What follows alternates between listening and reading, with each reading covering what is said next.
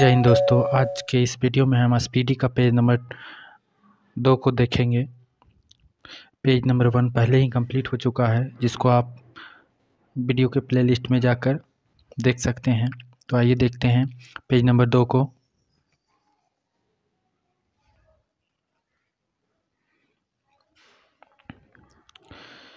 पहले दिया हुआ है, भारत एक परिचय। भारत एक परिचय। तो भारत के बारे में दिया हुआ, भारत का परिचय दिया हुआ है।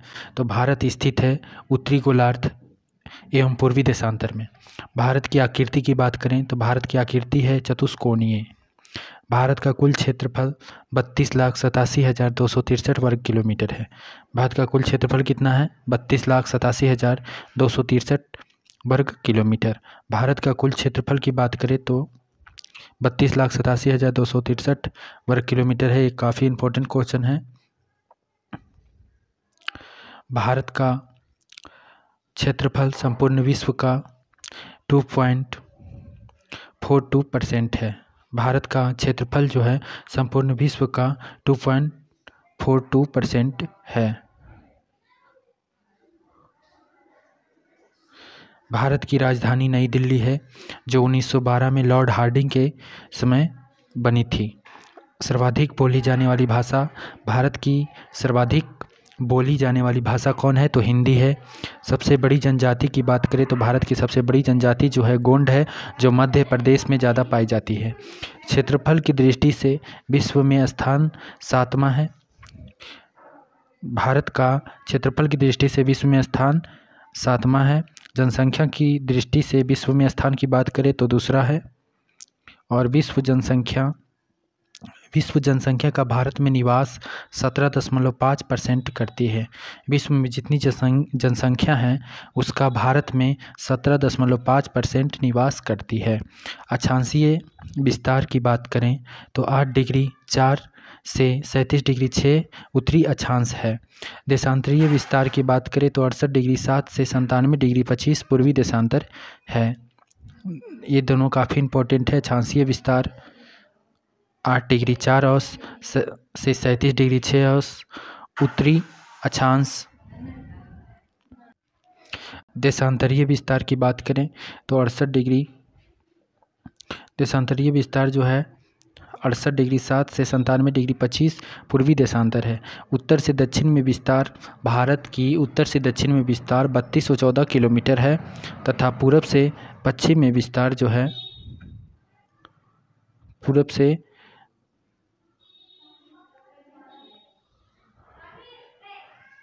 पूर्व से पश्चिम में विस्तार उनतीस किलोमीटर है।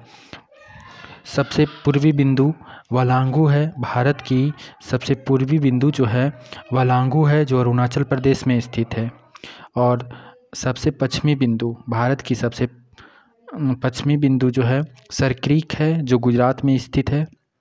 सबसे उत्तरी बिंदु इंदिरा कॉल है, जो जम्मू कश्मीर में स्थित है।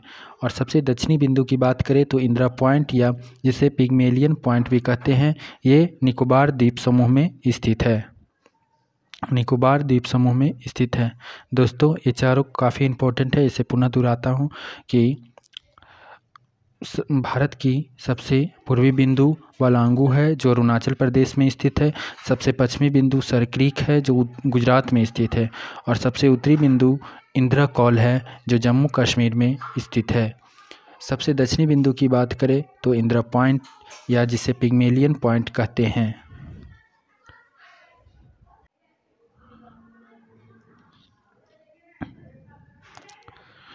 दक्षिणी बिंदु भूमध्य रेखा से दूरी, भारत की दक्षिणी बिंदु की भूमध्य रेखा से दूरी की बात करें तो आठ सौ छिहत्तर किलोमीटर है। आठ सौ छिहत्तर किलोमीटर है। प्रायद्वीपीय भारत, जिसे मुख्य भूमि कहते हैं, का दक्षिणी नोक है केप केमरीन। प्रायद्वीपीय भारत का दक्षिणी नोक है केप कोमोरीन, जो कन्याकुमारी तमिलनाडु में स्थित है। कन्याकुमारी तमिलनाडु में स्थित है। द्वीपों की कुल संख्या भारत में द्वीपों की कुल संख्या दो है, जिसमें 204 द्वीप जो है बंगाल की खाड़ी में तथा तैतालीस द्वीप जो हैं अरब सागर में स्थित है। लक्षद्वीप में द्वीपों की कुल संख्या लक्षद्वीप में द्वीपों की कुल संख्या छत्तीस है। स्थल सीमा की कुल लंबाई की बात करें, भारत की स्थल सीमा की कुल लंबाई पंद्रह हज़ार दो सौ किलोमीटर है, पंद्रह हज़ार दो सौ किलोमीटर है। तटीय भाग की कुल लंबाई सात हज़ार पाँच सौ सोलह दशमलव पाँच किलोमीटर है। भारत की तटीय भाग की कुल लंबाई कितनी है? तो पचहत्तर सौ सोलह दशमलव पाँच किलोमीटर है। भारत की मुख्य भूमि के तटीय भाग की लंबाई इकसठ सौ किलोमीटर है। काफ़ी इम्पोर्टेंट क्वेश्चन है कि भारत की मुख्य भूमि के तटीय भाग की लंबाई कितनी है? तो इकसठ सौ किलोमीटर है। भारतीय मानक समय साढ़े बिरासी डिग्री पूर्वी देशांतर रेखा जो इलाहाबाद के मिर्ज़ापुर से गुजरती है। भारत, भारतीय मानक समय कितना है? तो साढ़े बिरासी डिग्री पूर्वी देशांतर रेखा से गुजरती है, जो इलाहाबाद के मिर्ज़ापुर से गुजरती है। ठीक है? भारत का मानक समय जो है साढ़े बिरासी डिग्री पूर्वी देशांतर रेखा है, जो इलाहाबाद के मिर्ज़ापुर से इलाहाबाद के मिर्ज़ापुर से गुजरती है। साढ़े बिरासी डिग्री पूर्वी देशांतर रेखा गुजरती है पाँच राज्यों से। कितने राज्यों से? तो पाँच राज्यों से। भारतीय मानक समय तथा ग्रीन बीच समय के बीच अंतर है कितना है? पाँच घंटा तीस मिनट, यानी साढ़े पाँच घंटा आगे है। भारतीय मानक समय जो है, ग्रीन बीच जो है मानक समय, भारतीय मानक समय तथा ग्रीनविच समय के बीच अंतर है साढ़े पाँच घंटा। भारत के कुल राज्यों की संख्या की बात करें तो भारत में कुल राज्यों की संख्या जो है अट्ठाईस है और केंद्र शासित राज्यों की कुल संख्या आठ है। समुद्री तट से लगे राज्यों की संख्या कितनी है तो नौ है। भारत में समुद्री तट से लगे राज्यों की संख्या कितनी है? नौ है। हिमालय के छूने वाले राज्यों की संख्या कितनी है? दस है। भारत में हिमालय को छूने वाले राज्यों की संख्या कितनी है? दस है। भारत की प्रादेशिक जल सीमा बारह समुद्री मील है। भारत की प्रादेशिक जल सीमा कितनी है? बारह समुद्री मील है। एक समुद्री मील बराबर होता है अठारह सौ बावन किलोमीटर। अठारह सौ बावन किलोमीटर। भारत की मध्य से गुजरने वाली रेखा कौन है? तो कर्क रेखा है, जो कि भारत के मध्य से गुजरती है, और कर्क रेखा जो है भारत के आठ राज्यों से होकर गुजरती है। ये कौन कौन राज्य हैं? तो गुजरात है, राजस्थान, मध्य प्रदेश, छत्तीसगढ़, झारखंड, पश्चिम बंगाल, त्रिपुरा एवं मिजोरम है। कर्क रेखा से गुजरती है, भारत के कितने राज्य? तो आठ राज्य गुजरती है। कौन कौन गुजरात राजस्थान, मध्य प्रदेश, छत्तीसगढ़, झारखंड, पश्चिम बंगाल, त्रिपुरा एवं मिजोरम। सर्वाधिक नगरीकृत राज्य, भारत के सर्वाधिक नगरीकृत राज्य कौन है? तो गोवा है। भारत की न्यूनतम नगरीकृत राज्य कौन है? तो हिमाचल प्रदेश है। हिमाचल प्रदेश जो है, न्यूनतम नगरीकृत राज्य है। सर्वाधिक वनाच्छादित राज्य। तो भारत में सर्वाधिक वनाच्छादित राज्य जहाँ ज़्यादा वन है, जंगल है, वो राज्य है मध्य प्रदेश। सबसे न्यूनतम वनाच्छादित राज्य भारत की सबसे कम वन किस राज्य में पाई जाती है? तो हरियाणा। हरियाणा सर्वाधिक वर्षा होती है। भारत में सर्वाधिक वर्षा कहाँ होती है? तो मानसीराम मेघालय। मानसीराम में होती है, जो मेघालय में स्थित है। भारत में सबसे न्यूनतम वर्षा यानी कम वर्षा होती है कहाँ? लेह लेह में, जो जम्मू कश्मीर में स्थित है। भारत की सबसे प्राचीन पर्वत कौन है? तो अरावली है, जो राजस्थान में स्थित है। भारत की सबसे नवीन पर्वत है तो हिमालय है, जिसे वलित पर्वत भी कहते हैं। भारत का सर्वाधिक पूर्वी भाग कौन है? तो भारत का सर्वाधिक पूर्वी भाग अरुणाचल प्रदेश है, जिसका पुराना नाम नेफा है। अरुणाचल प्रदेश का पुराना नाम क्या है? नेफा है।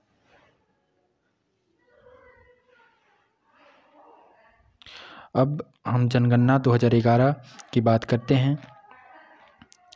तो भारत में भारत में पहली जनगणना की शुरुआत कब हुई थी? तो अठारह सौ बहत्तर में लॉर्ड मेयो के कार्यकाल में हुई थी। देश में नियमित जनगणना की शुरुआत अठारह ईस्वी में हुई। किसके समय? लॉर्ड रिपन के कार्यकाल में हुई। काफ़ी दोनों इम्पोर्टेंट क्वेश्चन हैं कि भारत में पहली जनगणना की शुरुआत कब हुई? तो अठारह सौ बहत्तर में लॉर्ड मेयो के शासनकाल में तथा देश में नियमित जनगणना की शुरुआत कब हुई तो अठारह सौ इक्यासी में लॉर्ड रिपन के शासनकाल में। स्वतंत्र भारत की पहली जनगणना कब हुई तो उन्नीस सौ इक्यावन ईस्वी में। स्वतंत्र भारत की पहली जनगणना कब हुई? उन्नीस सौ इक्यावन ईस्वी में। जनगणना का महाविभाजन वर्ष 1921 ईस्वी को कहते हैं। जनगणना का महाविभाजन वर्ष किसे कहते हैं? तो 1921 ईस्वी को कहते हैं। जनगणना का लघु विभाजन विभाजक वर्ष कौन है? तो उन्नीस सौ इक्यावन है। जनगणना की अवधि प्रत्येक दस वर्ष पर होती है, यानी कि जनगणना प्रत्येक दस वर्ष पर की जाती है। जनगण, जनसंख्या का अध्ययन क्या कहलाता है? तो जनसंख्या का अध्ययन डेमोग्राफी कहलाती है। 2011 की जनगणना का क्रम क्या है? तो देश की पंद्रहवीं तथा स्वतंत्र भारत की सातवीं। 2011 की जनगणना क्रम जो है, देश की पंद्रहवीं तथा स्वतंत्र भारत की सातवीं जनगणना है। 2011 की जनगणना का आदर्श वाक्य क्या था? तो हमारी जनगणना, हमारा भविष्य जनगणना 2011 का आदर्श वाक्य था, जिसमें कुल उनतीस प्रश्न पूछे गए थे। जनगणना का शुभंकर प्रगणक शिक्षिका को कहा जाता है। जनगणना का शुभंकर कौन है? तो प्रगणक शिक्षिका। उन्हें कहा जाता है। प्रथम जनगणना कश्मीर कमिश्नर, प्रथम जनगणना कमिश्नर कौन थे? तो डब्लू प्लॉडेन जो है, जब डब्लू प्लाडेन जो है जनगणना, प्रथम जनगणना कमिश्नर थे।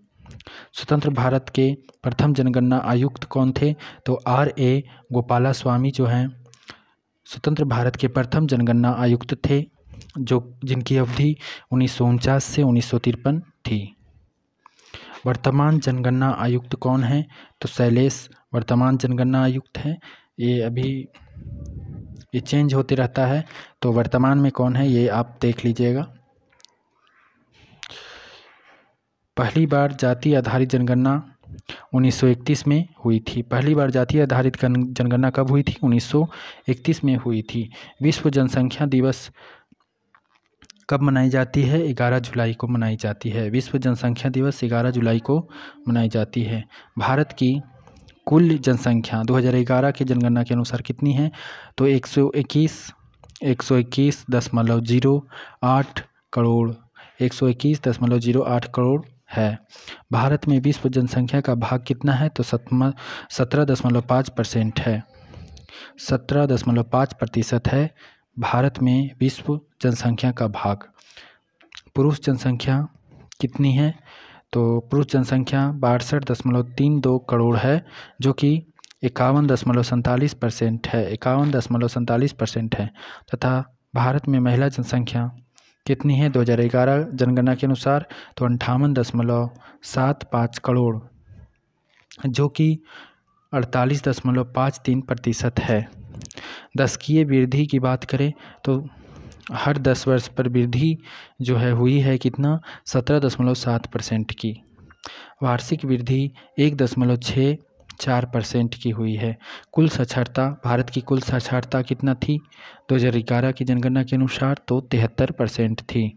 पुरुष साक्षरता अस्सी दशमलव नौ परसेंट थी।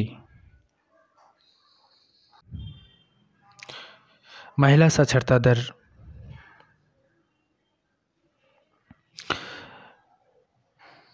महिला साक्षरता दर कितनी थी? तो चौंसठ दशमलव छः प्रतिशत।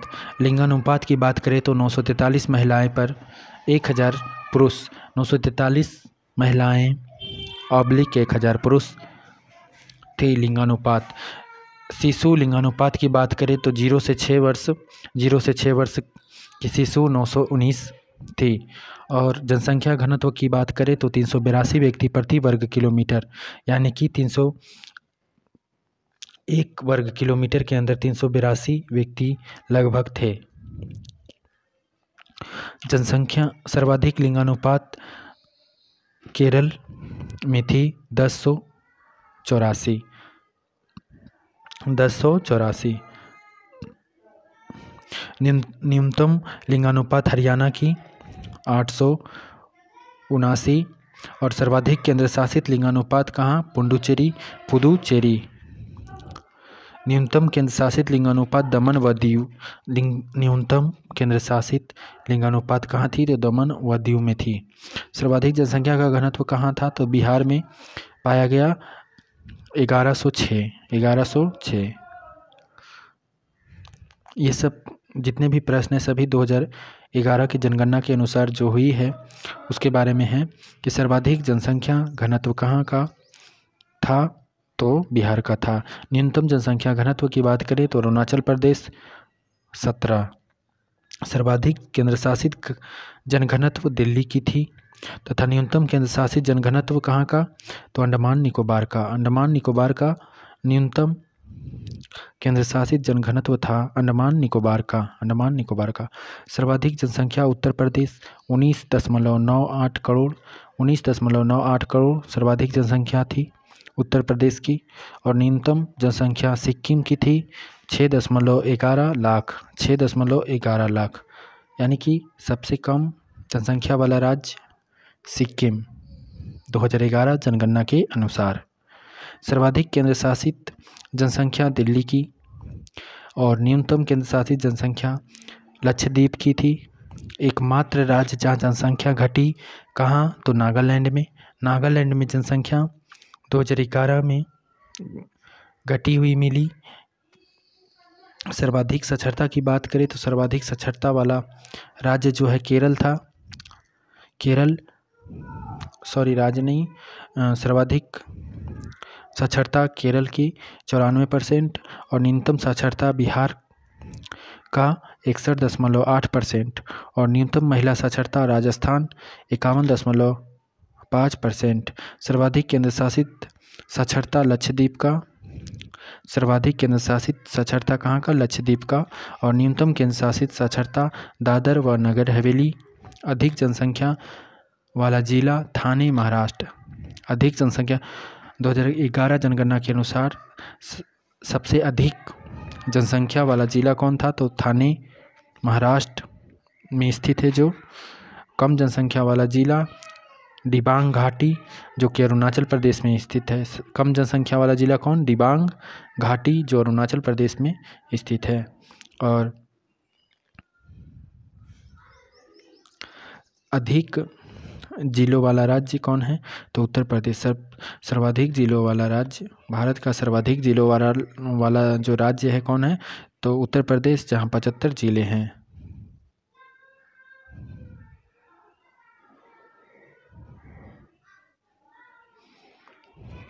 नेक्स्ट कॉलम में है, दिया हुआ सौरमंडल तो सौरमंडल सौर प्रणाली के खोजकर्ता कौन है? तो कॉपरनिकस। सौर प्रणाली के खोजकर्ता कौन है? कॉपरनिकस, काफ़ी इंपॉर्टेंट क्वेश्चन क्वेश्चन है ये। और सौर मंडल में ग्रहों की कुल संख्या की बात करें तो आठ है। सौर मंडल में ग्रहों की कुल संख्या आठ है। ग्रहों के गति के नियम के प्रतिपादक कौन थे? केपलर थे। सबसे बड़ा एवं भारी ग्रह, बृहस्पति। को कहा जाता है। सौरमंडल का सबसे छोटा ग्रह बुध है, जिसे मरकरी भी कहते हैं।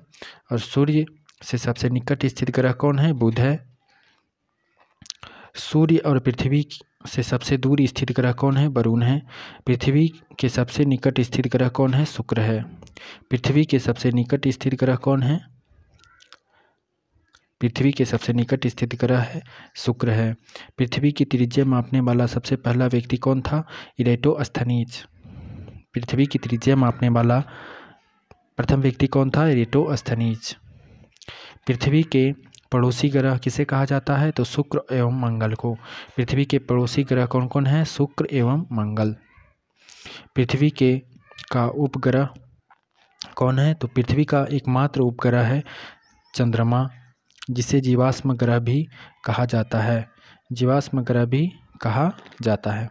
पृथ्वी का निकटतम तारा कौन है? तो सूर्य है। पृथ्वी का निकटतम तारा सूर्य है।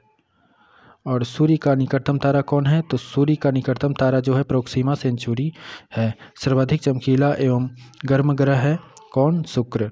सर्वाधिक ठंडा ग्रह कौन है? तो वरुण। सर्वाधिक उपग्रहों वाला ग्रह कौन है? बृहस्पति, जिसके सड़सठ उपग्रह हैं। बिना उपग्रहों वाला ग्रह कौन है? तो बुध एवं शुक्र। बुध एवं शुक्र जो है, जिनके कोई उपग्रह नहीं है। लाल तथा हरा ग्रह किसे कहा जाता है? तो लाल ग्रह मंगल को तथा हरा ग्रह जो है, वरुण को कहा जाता है।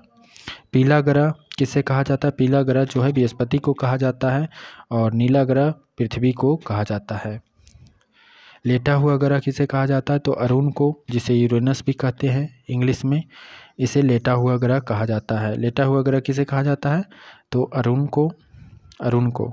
सर्वाधिक गैसों से घिरा ग्रह कौन है? तो अरुण, जिसे यूरेनस कहते हैं। सबसे कम घनत्व वाला ग्रह कौन है? शनि। सबसे कम घनत्व वाला ग्रह जो है, शनि है। पृथ्वी की बहीन तथा जुड़वा ग्रह कौन है? शुक्र है। पृथ्वी की बहीन तथा जुड़वा ग्रह शुक्र को कहा जाता है। भोर या साँझ का तारा शुक्र को कहा जाता है, जिसे वीनस भी कहते हैं। भोर या साँझ का कार, तारा कौन है? शुक्र है, जिसे वीनस भी कहते हैं। सबसे बड़ा उपग्रह कौन है? तो गैनीमेड, जिसे बृहस्पति के उपग्रह कहा जाता है। सबसे बड़ा उपग्रह कौन है? गैनीमेड, जो बृहस्पति के उपग्रह हैं।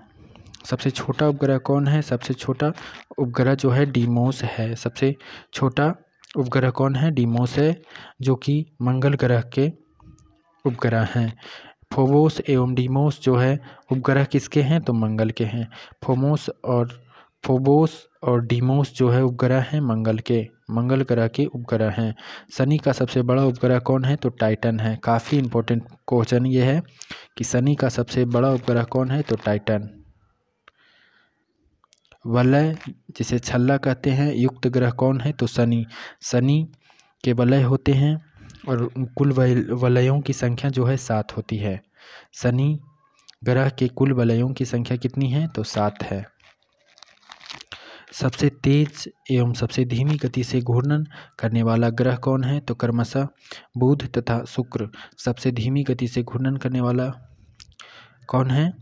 शुक्र है और सबसे तेज गति से घूर्णन करने वाला बुध है।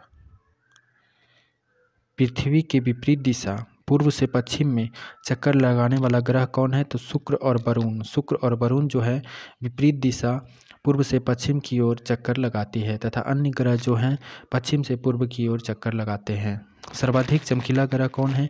तो साइरस है। सर्वाधिक चमकीला ग्रह साइरस है, जिसे डॉग स्टार भी कहते हैं। सबसे पृथ्वी से सबसे निकट तारे का प्रकाश पृथ्वी पर पहुँचने में लगा समय चार दशमलव दो वर्ष है है। पृथ्वी के सबसे निकट तारे का प्रकाश जो है पृथ्वी तक पर पहुँचने में लगा समय कितना है? चार दशमलव दो वर्ष। सूर्य के केंद्र का तापमान कितना होता है? पंद्रह एम डिग्री सेल्सियस। पंद्रह एम डिग्री सेल्सियस। पंद्रह एम का मतलब मतलब है मिलियन डिग्री सेल्सियस। सूर्य के केंद्र का तापमान है पंद्रह एम डिग्री सेल्सियस और सूर्य की सतह का तापमान 6000 डिग्री सेल्सियस है। सूर्य की सतह का तापमान कितना है? 6000 डिग्री सेल्सियस। ये काफ़ी इंपॉर्टेंट क्वेश्चन है। सूर्य की बाह्यतम बाह्यतम परत की बात करें, जिसे किरीट कहा जाता है। सूर्य की बाह्यतम परत को क्या कहा जाता है? किरीट कहा जाता है, जिसे कोरोना भी कहते हैं। सूर्य का दीप्तिमान सतह को क्या कहते हैं? प्रकाश मंडल कहते हैं। सूर्य का दीप्तिमान सतह है, जिसे प्रकाश मंडल कहते हैं। सूर्य का संघटक कौन है? तो हाइड्रोजन और हीलियम। हाइड्रोजन और हीलियम जो है सूर्य का संघटक है। सूर्य की ऊर्जा स्रोत की बात करें तो नाभिकीय संलयन अभिक्रिया पर काम करती है। सूर्य जो है, सूर्य की ऊर्जा का स्रोत किस पर काम करती है? तो नाभिकीय संलयन। सूर्य तथा चंद्रमा के प्रकाश को पृथ्वी पर पहुँचने में लगा समय कितना है?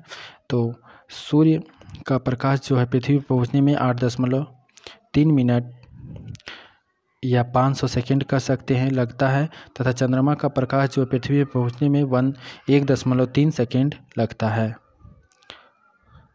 भू स्थिर उपग्रह की ऊंचाई कितनी है? तो छत्तीस हज़ार किलोमीटर। भू स्थिर उपग्रहों की ऊंचाई छत्तीस हज़ार किलोमीटर है। क्षुद्र ग्रह स्थित है तो क्षुद्र ग्रह मंगल और बृहस्पति के बीच स्थित है। सबसे बड़ा क्षुद्र ग्रह कौन है? तो सबसे बड़ा क्षुद्र ग्रह सेरस है। सेरस है। चंद्रमा पृथ्वी की एक परिक्रमा करता है। कितने दिनों में? तो सत्ताईस दिन, आठ घंटे में, लगभग। चंद्रमा चंद्रमा जो है पृथ्वी की एक परिक्रमा करता है कितना दिनों में? सत्ताईस दिन, आठ घंटे में, लगभग। और पृथ्वी द्वारा सूर्य की परिक्रमा में लगा समय कितना है? तो तीन सौ पैंसठ दिन छः घंटा, लगभग। और लास्ट क्वेश्चन है पेज नंबर दो का। सी ऑफ़ ट्रैकविलिटी स्थित है। सी ऑफ़ ट्रैकविलिटी स्थित है चंद्रमा पर। तो दोस्तों, आशा करता हूँ कि ये वीडियो आपके लिए काफ़ी महत्वपूर्ण रहा होगा। अगर वीडियो आपको अच्छा लगा हो तो हमारे चैनल को सब्सक्राइब करें और वीडियो को लाइक करें। धन्यवाद। मिलते हैं कल आपको नेक्स्ट पेज नंबर तीन के साथ।